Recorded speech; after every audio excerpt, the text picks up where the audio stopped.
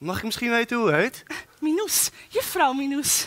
Nou, fijn u te leren kennen, juffrouw Minoes. Mijn naam is... Meneer Tibbe, dat weet ik.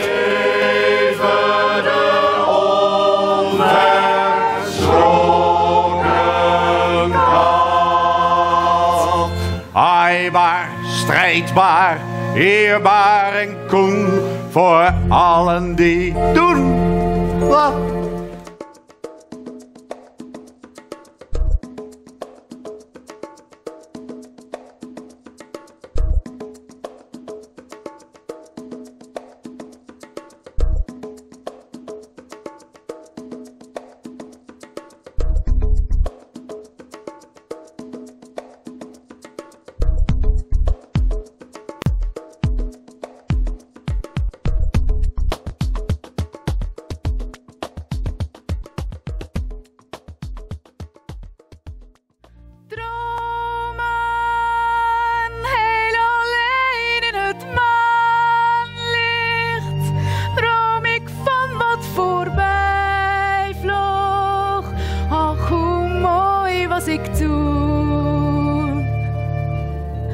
Nooit vergeet ik die tijd dat ik geluk nog begreep.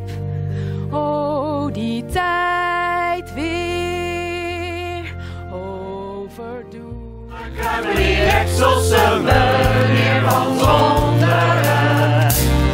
Ik ben groot, charismatisch en vlug. Van zijn hoofd tot zijn tenen het ster. Gaat hij weg, komt hij altijd terug. Herkenbaar van mijlen ver. Lopende zaken doet hij her en der. Ook domineren doe ik volleerd. Terwijl ik ondertussen net doe of mens of dier me echt interesseert. Ieder plan van hem wordt een succes. Een lastpak verdwijnt mysterieus. Ben je op zoek naar een wijze les?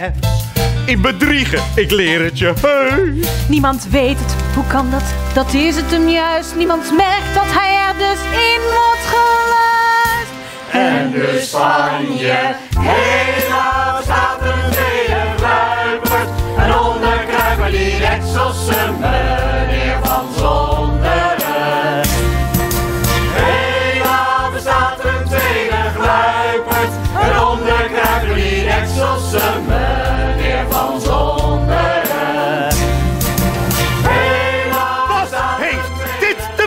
ik, ik wist er helaas niet van. Ik, ik lees het zelf ook pas net. Het is buiten mijn weten om in de krant gekomen.